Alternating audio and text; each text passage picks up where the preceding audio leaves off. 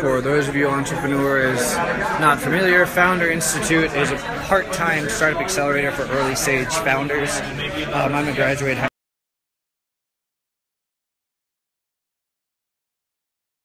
Hi, I'm Andy, founder of CampChamp. CampChamp is an online marketplace that makes it easy for parents to find, compare, and book camps for their kids all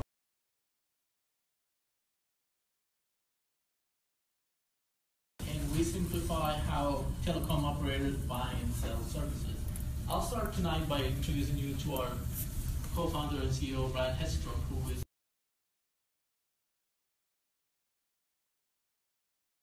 the sharing economy to help pay my bills. So I became an Uber driver, a Lyft driver, I put my house on Airbnb, and I'm also on Stow, and I'm even renting my gear.